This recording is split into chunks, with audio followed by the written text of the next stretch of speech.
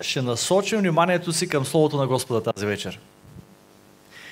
Книгата Изход, 14 глава, започвам от 5 стих и ще продължим надолу до 16. А когато се извести на египетския цар, че побягнаха людите, сърцето на фараон и на слугите му се обърна против людите и рекоха, какво е това, което сторихме? Гдето пуснахме израелтяните да не ни работят вече. Затова фараон впрегна колесницата си и събра людите си при себе си. Взе и 600 отборни колесници, дори всичките египетски колесници с началници над всичките – и Господ закорави сърцето на египетския цар фараон, така че той повдигна подир израелтяните, защото израелтяните бяха излезли с издигната ръка. И египетският цар се спусна подир тях, всичките коне и колесници на фараона, конниците му, войската му и настигнаха ги разположени на стан близо до морето, пред Пиарот срещу Велсефон. А когато се приближи фараон израелтяните повдигнаха очи и ето египтяните идеха подир тях. И израелтяните твърде много се оплашиха и извикаха към Господа. И рекоха на Моисей, понеже нямаше гробища в Египет, затова ли ни изведе да умрем в пустинята? Защо постъпи така, да ни изведе от Египет? Не е ли това, което ти казахме в Египет, като рекохме, остави ни, нека работим на египтяните, защото по-добре би било за нас да работим на египтяните, отколкото да измрем в пустинята. А Моисей каза на людите, не бойте се. Стойте и гледайте избавлението, което Господ ще извърши за вас днес. Защото колкото за египтяните, които видяхте днес, няма да ги видите вече до века. Господ ще воюва за вас, а вие ще останете мирни. Тогава рече Господ на Моисей, защо викаш към мен? Кажи на израелтяните да вървят напред.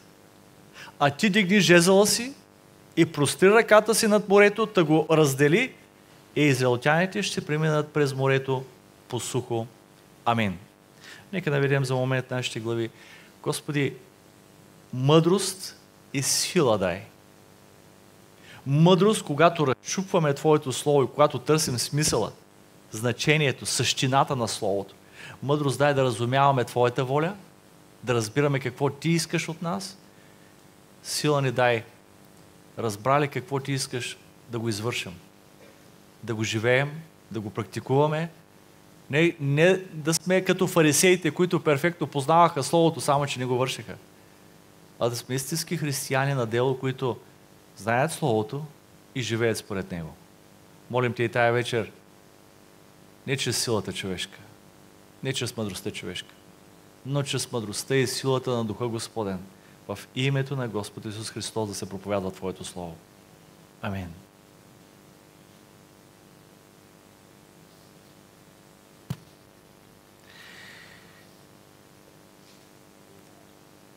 един знаменателен момент в историята на Израел. Когато те излязоха от Египет, тръгнаха към обещаната земя. Вижте, нека да кажа, за да излезеш от Египет, ти трябва много вяра.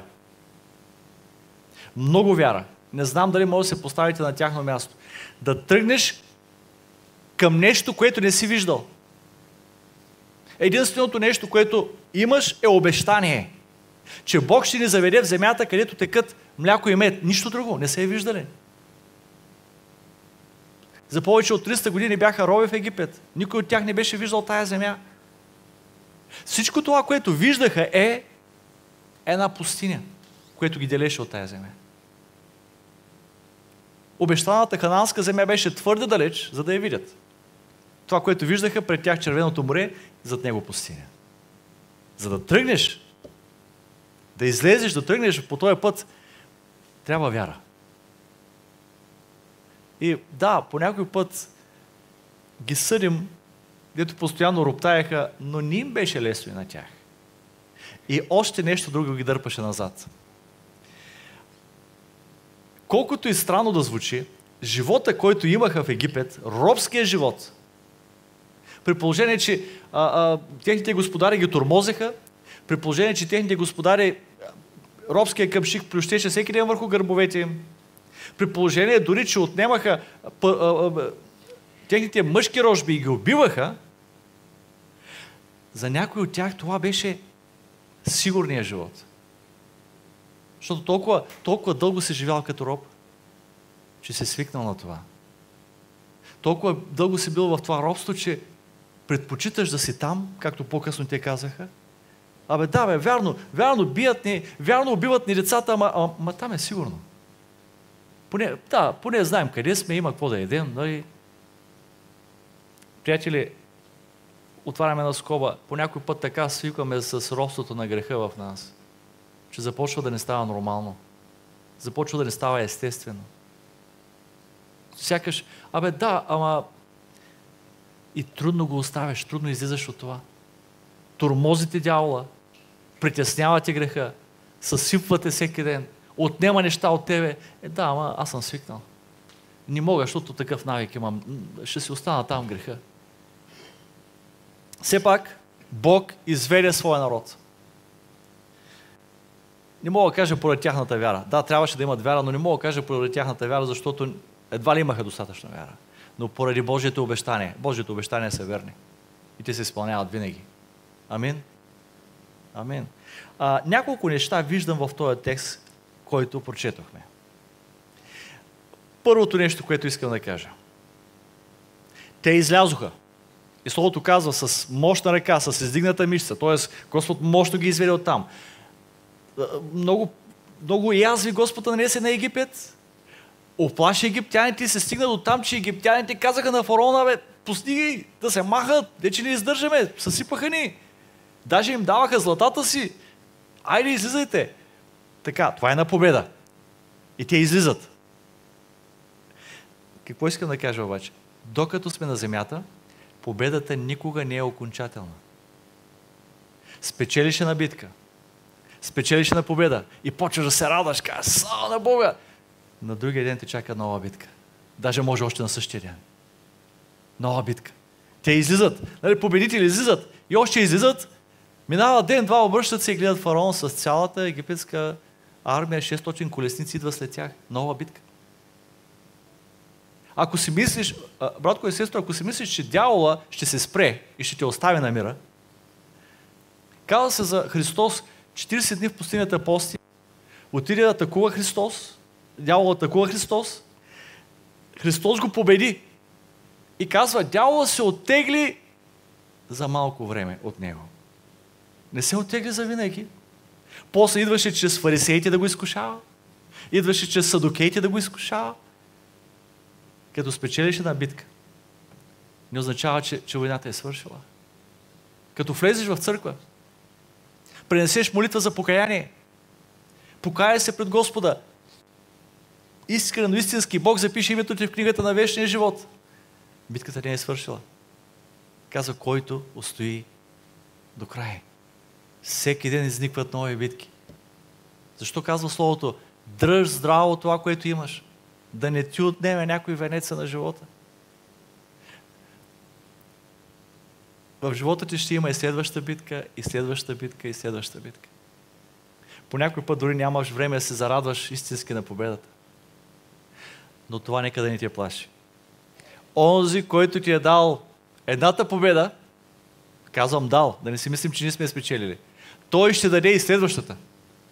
Той ще победи и следващата. Това, което се иска от нас е да стоим в Христовата победа, защото Той спечели победата. Да стоим в кръста, да стоим под кръста. Той спечели победата. И днес четох една интересна история. Казва се, че един човек, а, а, като пътувал, той много харесвал изкуството и видял, а, не помня кой е художник, а, скулптор, направил една много а, кръста, приведен така, ама много голям. Нали? Христовия кръст, край пътя го видял, той казал, непременно ще купя това. Като неговата идея била а, да го сложи така, че да опира на, на, на покрива на дома му и, и отдолу да е дома му. Купил това произведение на изкуството, Христовия кръст, който е наведен така и опрям на едната, на едната страна, обаче се оказал твърде тежък и, и не може да се опре на покрива, защото ще се бори къщата. Затова той направил така. Изградил дома си около кръста. И, и посланието на, на пастора, което го споделяше, го пишеше, казва да изградим нашия живот около кръста Христов. Там е сигурната победа. Братко и сестро, изграждай живота си. Изграждай дома си около кръста. Около Исус, там, в подножието. И пак казвам, едно от нещата, които виждаме, че не, да не се отпускаш. Ако има нещо, на което можем да се получим от дявола, че той никога не спира да работи, да прави нещо, да, да ни атакува. Образно го казвам, не искам нищо да се уча от него, честно казано, но той не спира. Онзи, който обаче те държи, онзи, който ти е спасил и за него нещо хубаво се казва. Господ, който пази Израел, няма да задреме, няма да заспи. Не заспивай и ти.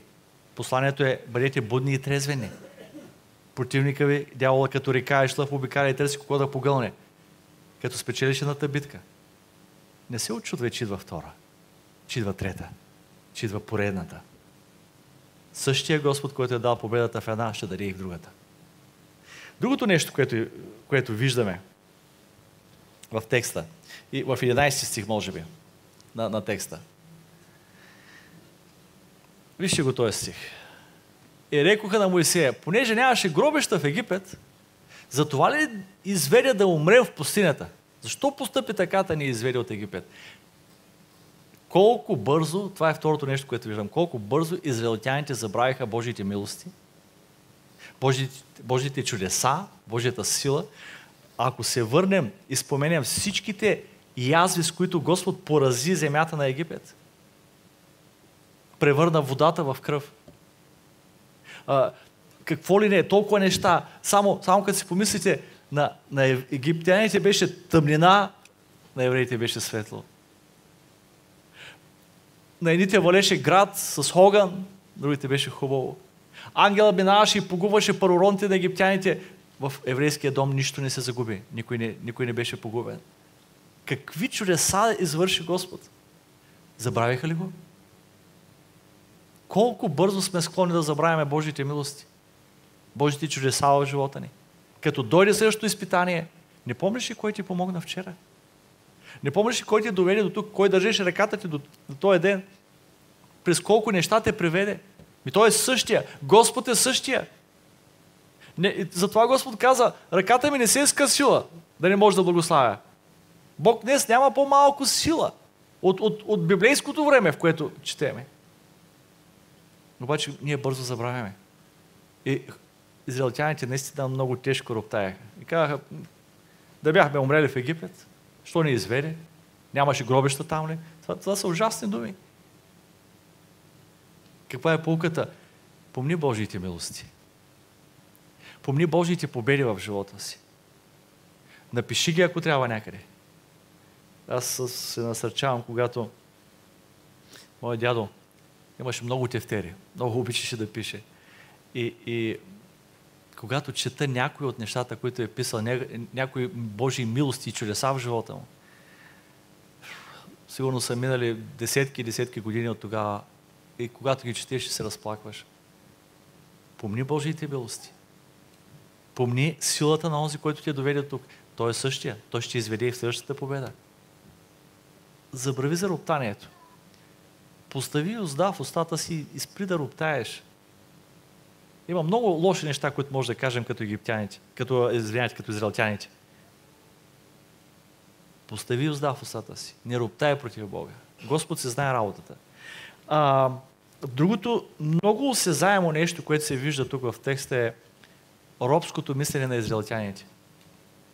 В 12 стих. Не е ли това, което ти казахме в Египет, като рекохме, остави ни. Нека работим на египтяните. Защото по-добре е било за, за нас да работим на египтяните, отколкото да измрем в пустинята. Ето, това е мисленето на роба. Нищо, че сме роби, нищо, че ни убиват децата. Нека, нека работим. Няма проблем. Нека се работим на, на поробителите ни. Отколкото да умре. Вижте, роба дори свободен си остава роб. Защото тук е роб. Обратно, свободния. Дори поробен, дори в затвора, той остава свободен. Като апостол Павел, който заедно с сила беше в Овкови, а пееха и хваляха Господа. Той не беше роб, той беше свободен. И Господ го освободи физически. А тези дори свободни, израелтяните дори свободни, продължаваха да бъдат роби. Робското мислене. Знаете ли, много хора ми споменават за това. Казват, брат Янчо, аз обещах на Господа и се посветих на Господа да служа по този или по този начин. И откакто съм го направил, такива атаки имам в живота си. Такива атаки имам в живота си. Аха. Дяла, кой иска да ти каже? Слушай, какво? Не е много да си даваш зор. Не да се почиш да служиш на Господа. Седни си спокойно, стой си мирно и аз няма да те закачам. Да, ама така ти ще случиш договор с дявола. Значи, аз няма да те закачам, ти няма да служиш на Господ, ето, всичко ще е наред. Не, това е договор с дявола. Не подписвай такъв договор. Това е робското мислене. Ами май е по-добре да не, да не, май е по-добре да не, да не си давам толкова зор да служа на Господа. Май е по-добре се стоя кротко. Абе да, ще идвам на църква. Ще идвам на църква, като имам време, когато няма, няма. Нали? Ама чак толкова зор да не си давам. И тогава и атаките намаляват. И ти кажеш, е, добре, нищо, че рубуваш на греха. Нищо, че се отдалечаваш от Господа, обаче добре, по-добре, по-добре така. Не, не, не е по-добре, това е робско мислене. Не сключвай договор с дявола. Едно време, нали, знаете знамето на, на нашите възстаници, свобода или смърт. Или напълно свободни, или, или умираме. Това е мисленето на свободния човек, не робското мислене. Някой път сме свободни, а мисленето ни, сърцето ни продължава да е поробено. Освободи сърцето си. Другото нещо, което виждам в, в текста, 13 и 14 стих. А Моисей каза на людите, не бойте се. Стойте и гледайте избавлението, което Господ ще извърши за вас днес. Защото колкото за египтяните, които видяхте днес, няма да ги видите вече до века. Прекрасен стих за, за, за, не, не, другия, 14 ми дай. Господ ще воюва за вас, а вие ще останете мирни. Запишете си го някъде този стих. Служете си го на хладилника, този стих. Господ ще воюва за вас, а вие ще останете мирни. Мили приятели, невъзможно е, когато някой воюва срещу тебе, ти да се чувстваш в мир. Единствената възможност е, когато си в битка, в война, единствената възможност ти да си в мир е някой друг да воюва за тебе, вместо тебе. И точно това казва Господ. Точно това казва Господ на Моисей и Моисей го каза на людите. Каза, е тия египтяните, тия 600 колесници, погледнете сега, виждате ли ги?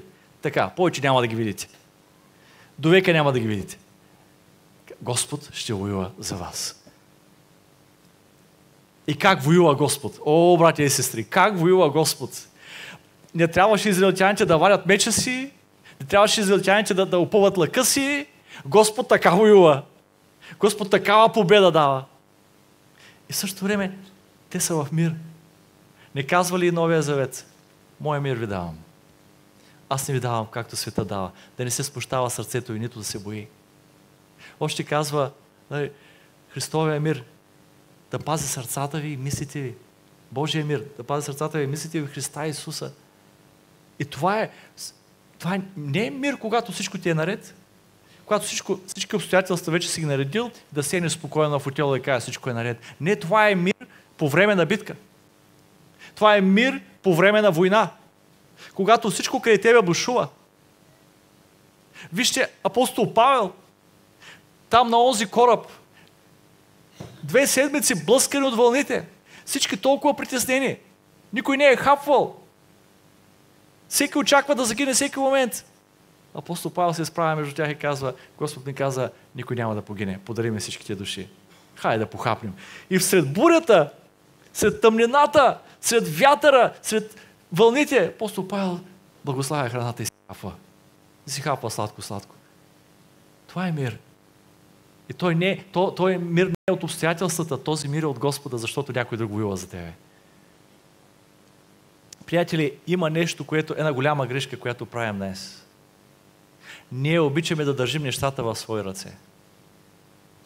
Тоест, да контролирам аз. Аз да контролирам.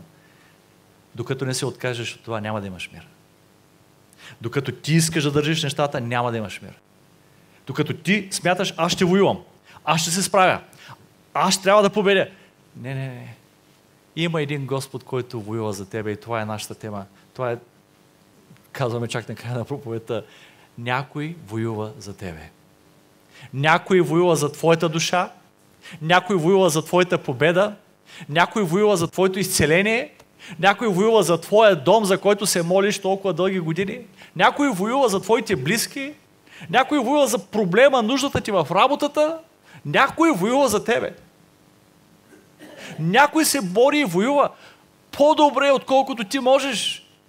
По-добре, отколкото аз мога. И това е само Господ. И Моисей каза, Господ ще воюва за вас, вие ще останете мирни, вие ще останете в мир. Приятели, докато се опитвам аз да воювам, не се получават нещата. Докато аз държа ръка в ръце, аз ще контролирам живота си. Аз ще контролирам... Не, не можеш, не можеш, приятелю. Идват такива по-големи от тебе вълни, дето нищо не можеш да управляваш, нищо не можеш да контролираш. А когато кажеш, Господи, управлявайте. Господи, ръководите. Вземи ти кормилото на моя живот. Когато кажеш, Господи, предавам се, предавам в Твоите ръце. Предавам живота си, проблемите си, грижите си. Оставаш Господ да воюва. Не е ли време да пуснем контрола? И да оставим единствения, който може да спечели битката. Аз не мога да спечеля тая битка. Нямам сила да спечеля тая битка. Мисля, че и ти няма сила, приятелю. Мисля, че и ти няма сила, братко и сестро. Единственият начин да спечелиш битката е да оставиш Господа да воюва. Отдръпнеш, да се отдръпнеш и да кажеш, Господи, ти напред, ти воювай. Помни, че някой воюва за тебе. Някой е готов да воюва за тебе. Отдай контрола на живота си. Пусни контрола. Някой път имаме това неистово желание ние да държим кормилото на нашия живот, ние да държим контрола. Пусни го. И това е, това е много голяма крачка на вяра. Защото ако не го пуснеш, има друг начин да го пуснеш. Е, преди малко споменах, преди малко споменах апостол Павел е, на този кораб, там, който корабокрушира накрая. Той, той, апостол Павел ги беше предупредил да не тръгват. Така, да гледай си работата. Ти ще ни кажеш. Тръгнаха. Като ги е вкара в Господ бурята, защото те се доверяваха на корабна, кормчията, нали, корабния началник. Като ги вкара Господ бурята, сено им казва, хайде управлявай. Хайде, нали си добър а, капитан на кораб. Да, управлявай. Само, че не може. Никой не може да управлява кораба. Някой път не даваме контрола, не пускаме нещата, те или Господ те вкарва бурята и казва, давай ли, управлявай живота си. Обръщай живота ти надолу с главата. По път Господ го прави, не дявола. И тогава разбираш, че нищо не управляваш ти. Нищо от живота си не държиш ти. Дори, дори не можеш, ти, ти, ти не можеш да гарантираш дали утре ще, ще има дишане в твоите гърди, дали твоето сърце ще топти. Нищо не зависи от нас. Това, което обаче зависи от нас, е да дадем контрола в Неговите ръце. Да го оставиш Господ да воюва. А ти да гледаш.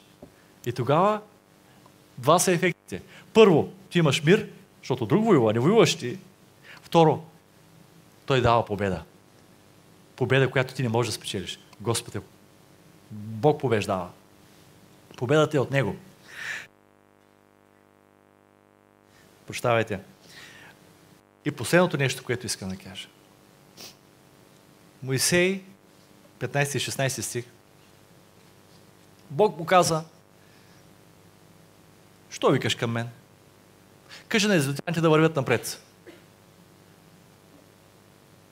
Господи, само аз ли виждам, че пред израелтяните има червено море? Къде напред? Бог сякаш нещо... Все едно, все едно ти казва, днес е сряда. Нали, толкова обикновено го каза. И що викаш към мен? Какво толкова е станало? Ми кажи да изотяните да вървят напред.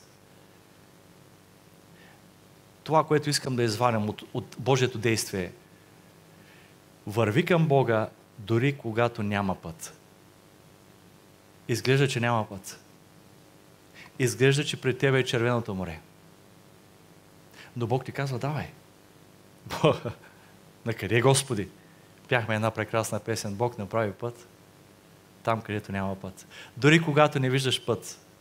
Пътя продължава да е към Господа. Върви към Господа. Не виждаш път.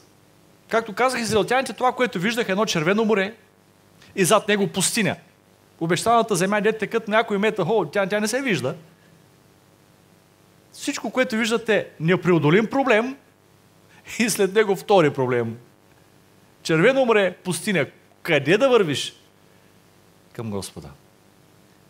По Божията дума. Това е посоката, винаги правилната посока в живота ти. Каквито и решения да предстои да вземеш, каквито и важни решения, пред които стоиш, посоката е към Господа. Някой път изглежда, че там няма път. Някой път изглежда, това е невъзможна посока. Продължава да е към Господа. А пък на Моисей каза, прости жезъла си. Вижте, колко интересно Господ прави. А, винаги намесва човека в своите дела, в своите чудеса. Не, че Господ не можеше от небето просто да каже, морето се раздели. Обаче трябваше Моисей да извърши нещо. Акт на вяра. Простира една тояга. Какво може да направи тази тояга? Не, тоягата не прави нищо. Послушанието прави нещо. Когато послушаш какво ти каза Господ, тогава стават нещата. Послушанието. Моисей простря жезъла си. Морето се отвори. Израелтяните минаха по сухо. И когато египтяните се опитаха да минат, нищо от тях не остана и наистина повече израелтяните никога повече не ги видяха, защото трудно е да ги видиш на морското дъно, нали? Както Господ беше казал, няма да ги видите повече. Не се притеснявайте от тях. Ако днес стоиш пред избор, пред изпитание, пред невъзможен проблем, пътят ти е към Господа, братко и сестро. Казвам го не само от, от това, което съм чел в Словото. Казвам го от личен опит, който съм го преживял и не веднъж. Защото когато се случи нещо и всичко е толкова сринато в живота ти и сякаш си изгубил всяка посока и стоиш и се молиш и кажеш, на къде Господи, на къде? И идва един глас, който ми казва, на къде другаде, освен към Господа. На къде другаде? Правилно каза апостол Петър, Господи, при кого да отидем? Само ти имаш думи на вечен живот. Тъй, че няма значение какво се случва в живота ти. Посоката ти е към Исус. Няма значение през какво преминаваш. Посоката ти е към Исус. И понеже Той воюва за тебе, ще спечелим победата. Той я спечелва, ние сме в нея и се радваме. Той воюва, ние сме в мир и в победа. Нека Бог да не благослови. Нека се молим. Алелуя.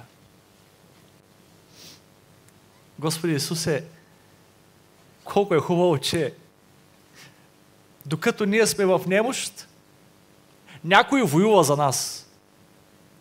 Ти воюваш всеки ден за душите ни. Ти ни пазиш. Ти ни закриляш не само физически, и физически, но не само физически. Ти ни пазиш, Господи, душите ни да са при Тебе. Душите ни да не се отделят от Тебе. Но ето, ние и днес говорихме за това, че битката не е свършила. Ние сме намерили правия път, следваме те, имаме победа, но следва нова битка. И в нея ще имаме победа. И после следва нова битка. Само, че не ни е страх от това. Защото ти воюваш за нас.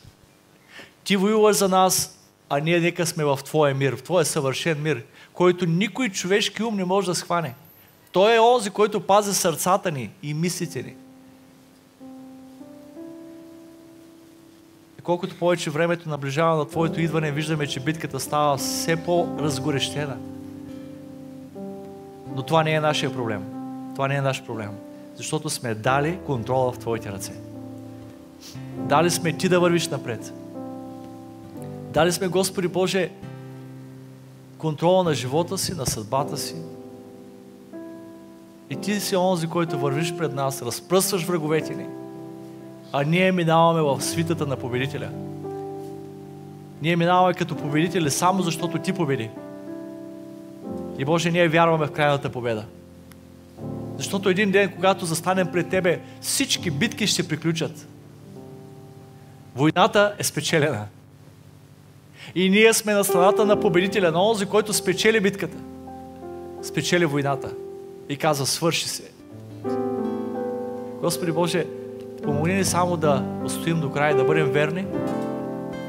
Помогни ни, Господи, каквото да се случва в нашия живот, пътят ни да е към Тебе. Няма друга посока, няма друга вярна посока в нашия живот. Дали някой пада, дали някой се отказва от Тебе, дали някой отпада от вярата, дали някой се отдръпва. Боже, това няма да промени нашата посока, ние продължаваме към Тебе. Дали в живота ни ще има препятствия, няма значение, посоката е към Тебе. Дали в живота ни ще има трудности, страдания по някой път, изпитания, няма значение, посоката е към Тебе. Защото онзи, който ни е довел до тук, онзи, който спечели първата битка, ще спечели и последната битка. Стоим в Твоите ръце, отдадени, посветени на Тебе, Господи. И помогни ни в битките да не забравяме Твоите предишни милости, както израелтяните толкова бързо забравиха чудесата Ти, мощната Ти ръка, забравиха. Припомняй ни, Господи. Припомняй ни победите, припомняй ни радостта, припомняй ни, че няма по-велик и по-силен от Тебе. И с онзи Господ Исус, който ни доведе до тук, днес, със същия водач, същия водител ще стигнем и горе в небето. Боже, не сме виждали оная чудна небесна страна, само, само от части знаем и Словото дори малко говори. Но едно знаем, че там е прекрасно място, защото Ти си там. Ти присъстваш там. И сега може би стоим пред червеното море. Може би стоим пред изпитание невъзможно за, за нашите разбирания и умове. Ти си способен да отвориш това червено море. Затова, Господи, оставяме Ти да воюваш. Ние се предаваме в Твоята ръка и оставяме Ти да воюваш. И тогава победата е сигурна. Оставяме се в Твоите ръце, Господи, на силите. Амин.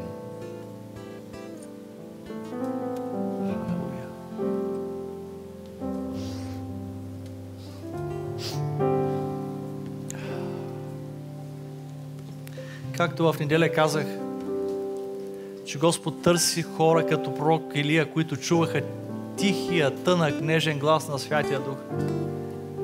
Продължавай да слушаш този глас. Той винаги ще те зове към Господа, ще те насочва в правилната посока. И Той винаги ще ти казва, когато не знаеш кой път да избереш. Той винаги ще ти казва този тих и нежен глас на Святия Дух. На къде другаде, освен към Господа? Избирай тая посока. Нека Бог да ни благослови. Ще хвалим Господа с една последна песен. Ще мине дискус по времето на тая песен за нуждите на църквата. Нека да хвалим Господа.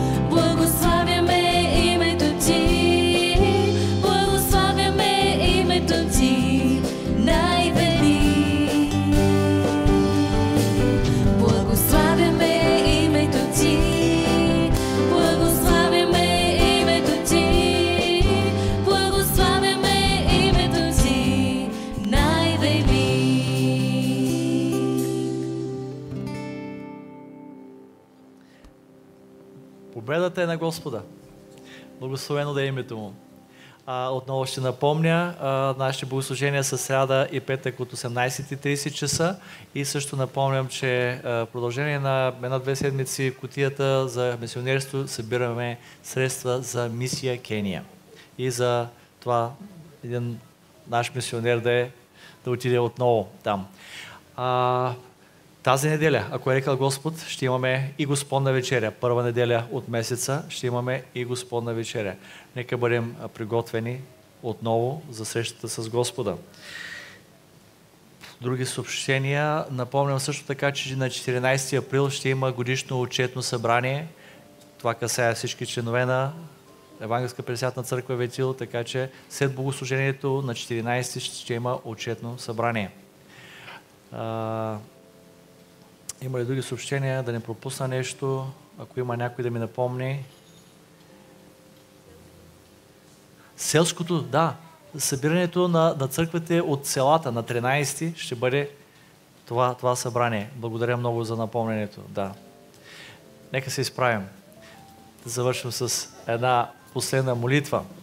Аз ще помоля брат Станимир, ако обича да ни води в тая молитва.